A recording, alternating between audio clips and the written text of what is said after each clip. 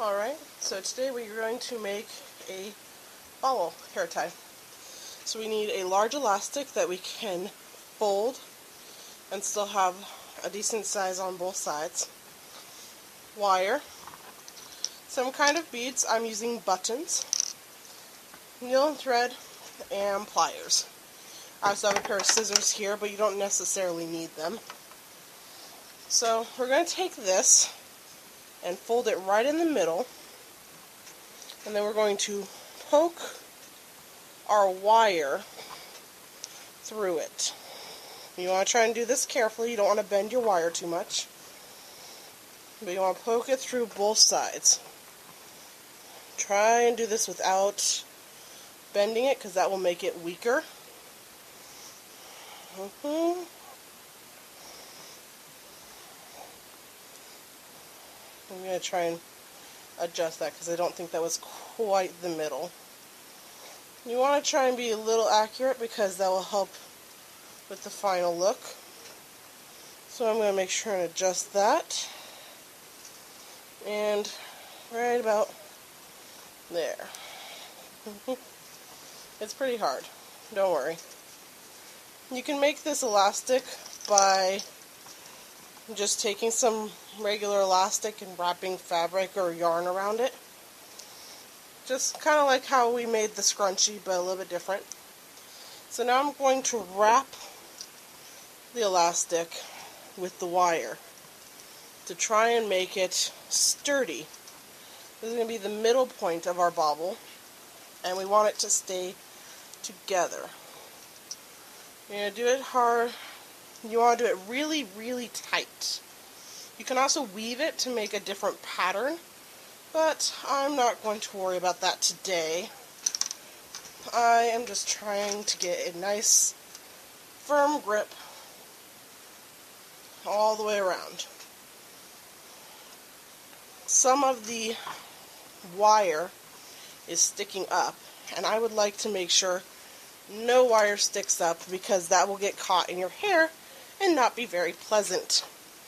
So, you want to do it nice and tight, moving up and down until you've gotten as much of the middle of your elastic covered as you want. You can also use a sheet of tin to make it smooth if you want, but I'm not doing that. I'm being a little bit lazy, admittedly. So I'm going to cut it with about an inch to fold over and I'm going to push this into the middle of the wires to hold it in place. This is a little bit difficult because I'm trying obviously to do something that it doesn't necessarily want to do. Remember, you can use your pliers to fold down any pieces you like. I'm also going to use it to flatten this middle part a little bit because I feel like it works better when it's flat. So I'm going to push these together, flatten everything out. And now the next part is to sew on our buttons. So obviously you're going to take them and you're going to sew them on on either end of your elastic. You want to sew them on nice and tight because they're going to be what's holding this elastic into your hair.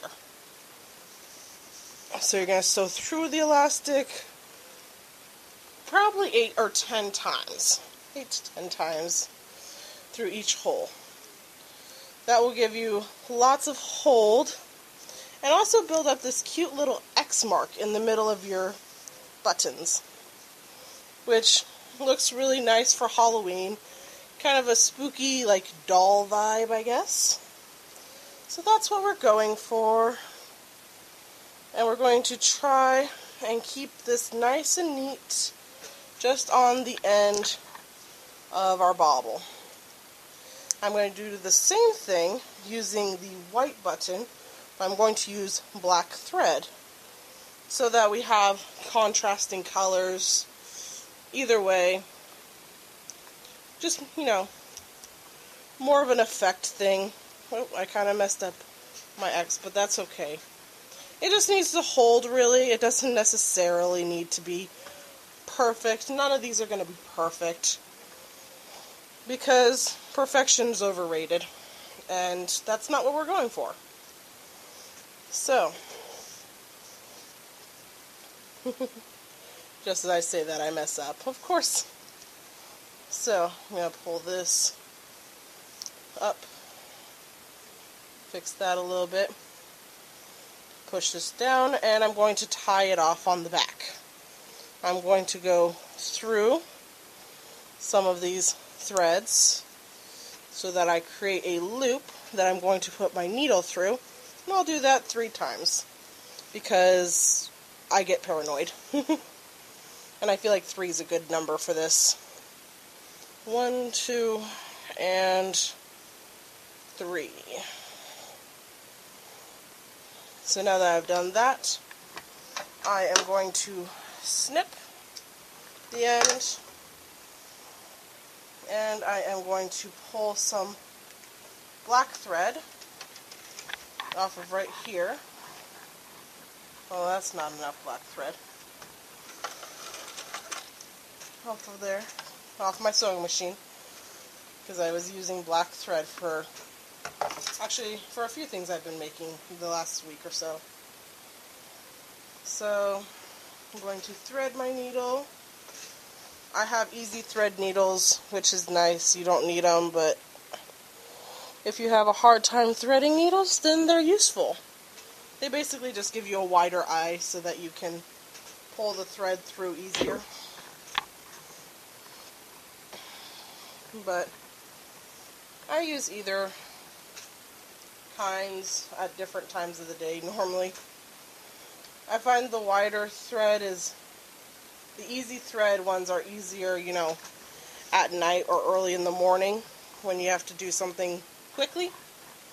But I like the regular needles for anything that's tight knit fabric that will show holes because they leave less of a hole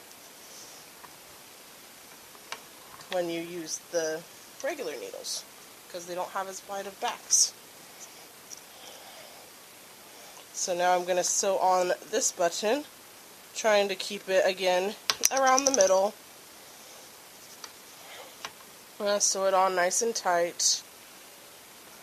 So once this is all sewn on, that will be basically the end. We'll do the same thing we did to the black one to this white one.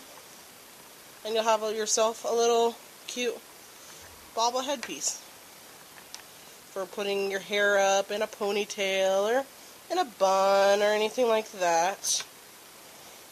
You know, some people, they just wear their hair up all the time. And you know, when you only have certain things to put your hair up with, it gets really boring and you just need to spice it up sometimes. So, that's what we're doing today. We're spicing up our hairstyles by making new things that we can put our hair up with. So even if we're like doing the same actual like hairstyle, at least it looks different because it's not just a ponytail with a rubber band or something.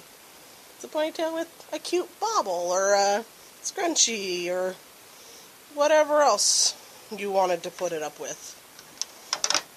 So I'm just gonna cut those and then it basically works like any other bobble.